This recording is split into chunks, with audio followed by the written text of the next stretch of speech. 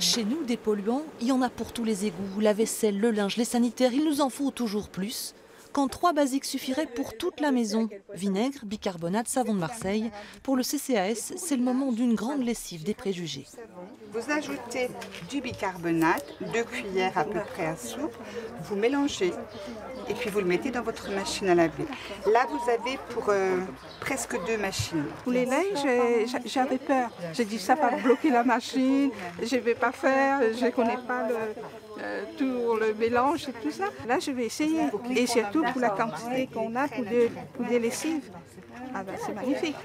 Le tout pour moins de 5 euros par mois. L'écologie n'est donc pas un sport de riche, un argument de poids quand on sait qu'un tiers des personnes en grande précarité renoncent à l'hygiène faute de moyens, d'où l'idée de cibler le public de l'aide alimentaire.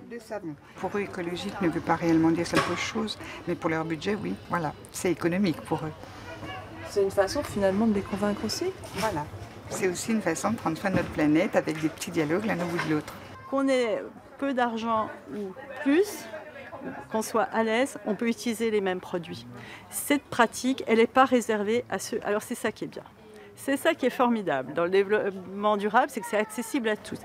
L'initiative est louable, mais au fond, il ne s'agit guère que de remettre au goût du jour les recettes de nos aïeux, ces bourgeois gentilshommes qui pratiquaient l'écologie sans le savoir.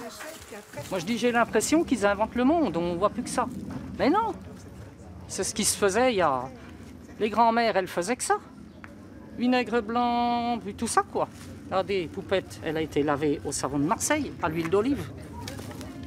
Regardez comme elles s'en vont. Le tout sera d'entretenir les bons réflexes et d'oublier que succomber à la société de consommation reste le propre de l'homme.